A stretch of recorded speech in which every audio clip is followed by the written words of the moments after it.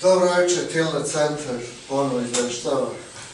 Ove, I danas radimo Git i GitHub na, na malo naprednijem nivou, ali za početak, ajde podsjetimo šta je to Git. Ima, kako se to nazvao, jedinicu razvoja kao commit, ove, koji je u Gitu ne postoji ništa manje od komita. U, u tom smislu je jedinica razvoja. A, ono što čemu ću danas malo posvetiti pažnje su konflikti, a to je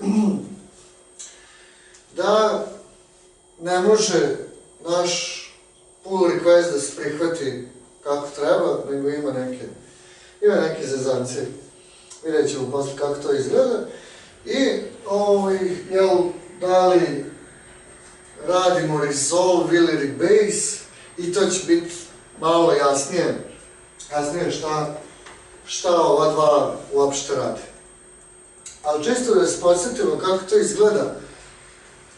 Uh, ako je ovo Origin, glavni GitHub repo, ovde ide ovaj, git pull, pa git branch, pa git push u, u ovaj origin, pa ovde ovaj, pull request. Uh, konflikt može da se javi na dva mesta, u suštini razlog je isti, samo kad ćemo ga navatati u kom momentu.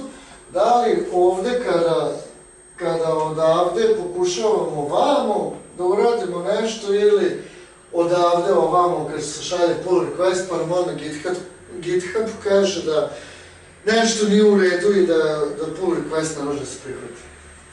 Uh, e sad, ajde još jednom, šta je to commit? Pamti sve izmene u failovima, što je bitno, obzirom da svi komiti pamte sve izmene u failovima, dva komita mogu da pamte različite ove izmene na, na istom failu, istoj liniji. Ove, svaki od uh, komita ima roditelja, što znači da imamo istoriju i u Gitu se uh, roditelj je ispod deteta. Znači, dete komit, pa roditelj komit, pa deda komit, pa jel.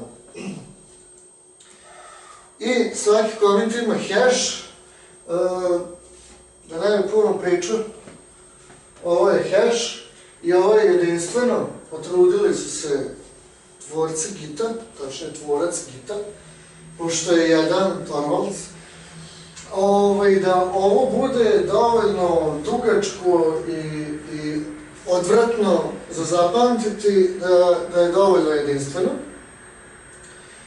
I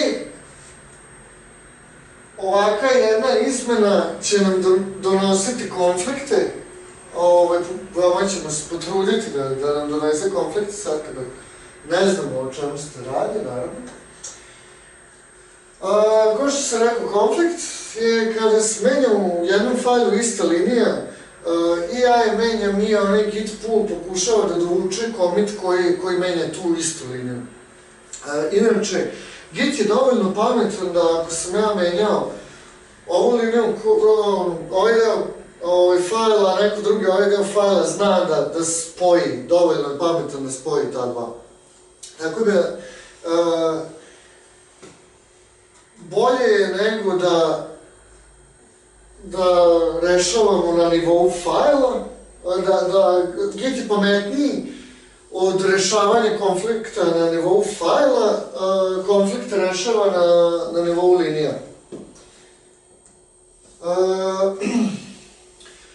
ono što, što vam nikako iskustvo pri gitovanju neće pomoći je da a, kada vidite šta je konflikt, on vam da dva izbora šta treba da se stavi, ovaj, da li ovaj kod ili onaj, i vi morate da znate čemu, čemu taj kod služi tu, tako da rešavanje konflikta je uvek u stvari programiranje, morate znati šta se, šta se dešava u tom failu. I šta god radili, završi se na editoru. Uh, jel, rešavanje konflikta, jel, ovaj, uh, na neki, ajde kažem, poluautomatski način, ali pisanje možda celog jednog segmenta koji je probrane linije iz, dve konflikt, iz dva konfliktna ovaj, komita. U svakom slučaju uvek je rešavanje konflikta kroz pisanje novog koda ili sličnog koda. Jednom kad je, kad je završeno ovo je manje više ono što, što, što označi Gitu da je konflikt rešen i može da nastavi dalje. Ovde git add pa file koji je već bio u, u konfliktu i git commit nastavi ovaj, gde je stao, da li kad je radio git pull pa je dobio ovaj, konflikt ili u nekom drugom, drugom momentu. E sad, pored konflikta ima ovaj jedan base koji pa u suštini ovo je fancy re, ovaj, termin e, to znači da oni e, dete, otac, deda taj, taj redosled može da se menja i način da se to menja je kroz ovaj git rebase. E, ima, ima svoje zašto. E, a svoje zašto ne? Ovaj, ovo ovde kaže najte pušovati na, e, na server izmenjena istorija. E, pošto je izmenjena istorija, jako pravi probleme drugima koje kasnije rade pull, ovaj rebase nije pametan raditi ovaj, kad je na, na, na originalnom repovu. I zato imamo onaj fork gde može da radi šta god vama padne na pamet, ovaj, pošto odatle niko drugi sem vas ne povlači, zato može da se radi bilo šta. A neki put vam jednostavno treba da prešoltate komite iz, eto, nekog razloga. I jedan od razloga je takozvani squash svih tih komita.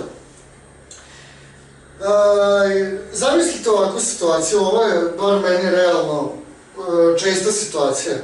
Da imam, rešavam neki problem i gomilam ja sad tu komite, čisto da bi mogao da se vratim nazad. Ali od, evo, Lupiću, osam komita, dva su korisna, ostalo je sve džubre. Jer sam eksperimentisao usput, tražio rešenja na internetu, pokušavao nešto, ovaj, Iako nije rešenje, napravio sam komit od njega da bi zapamtio neko stanje na koje mogu kasnije da se vratim. I to je, to je jedan, jedan dobar način razvoja, zato što možete da se jako lako vratite na, na one komite koje ste pravili ranije, uh, pa da vidite šta ste gde napisali. Međutim, uh, kada takav neki uh, pull request završi u, u, u repovu, vi imate u suštini uvek previše komita koji su ništa, u stvari eksperiment, i, ne znam, šest eksperimenta i dva komita korisna. I onda ima način da se svih tih osam komita sabije u jedan i da se samo po, po pull requestu šalje jedan komit. E, mnogo čistija istorija se dobije, mnogo čistija ovaj, ona istorija sa git log, pa se lakše prati i ovaj, mnogo manje izmena koda je što kasnije zbunjuje, jer doći do, ne znam, hiljadu komita je od prilike mesec dana posla. Da, tako nešto.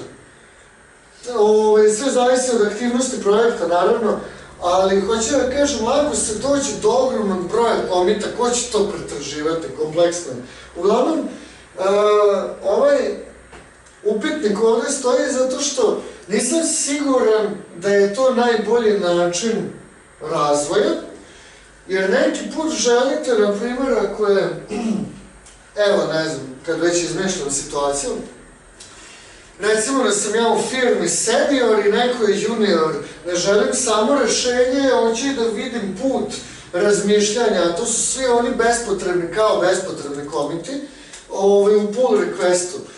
Korisno je zato što mogu da mu kažem, ja vidim da se ovde malo iskubio vremena, ovde se zalutao kad sledeći put budeš tražio, ovo ti je dobar resurs za pročitati ili šta, šta ti ja znam već. Tako da, nisam siguran da pre svakog pull requesta treba raditi squash, ali definitivno se dobija čistiji kod i čistija istorija, što je, što je zapravo mnogo lakše čitati kasnije. Imamo nešto što se zove revert i ovaj, ups, ha, dobro, nisam udario save ovaj, kad je trebalo, ali dobro, za ovaj git revert ima da se kaže sve jedna stvar. E, sad ćete se da, na, prethodnom slajdu bilo ovo, nikad ne menjate istoriju origina. To je onaj glavni repo a, na GitHubu. Ali šta ako je nešto što nije trebalo od komita završilo na, na tom originu? Naprimer, sada zadnji komit je neka totalna brljava i treba da uradimo undo. Ovaj, upravo ovaj git revert pravi novi komit koji ima izmene koje su tačno suprotne onom prethodnom, pa vrati stanje na isto.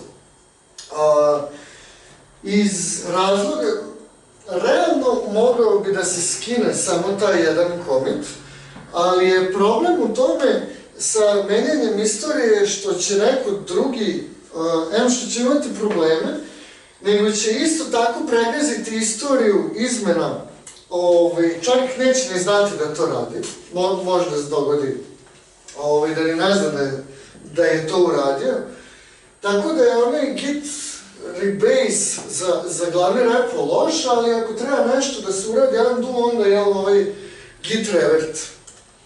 Tako da, za kraj, e, treba zapamtiti tri stvari, e, konflikti će se javiti koliko god pažljivo da e, da, da programiramo ili da pazimo na, na repu ili šta god već da radimo, jer od momenta kad sam ja počeo da radim na, na nečemu, do momenta kada šaljem pull request može da prođe možda par dana, a između je neko neku izmenu poslao i sad moj kod više nije, nije validan zato što ne, ne primim patch za isti kod, sad, sad je on različit. Tako da konflikti se uvek javljaju, to je onako normalna situacija, zato i posvećujemo toliko pažnje. Uh, Rebase je jedna zgodna stvarčica kada imate uh, istoriju ovih komita da izbacite neke, editujete neke, spojite dva u jedan ili više njih u jedan ili kako god već. I ukoliko je ono zadnje što smo bili, to, totalna budalaština, git revert. I, op, pardon, Za danas toliko, hvala vam puno.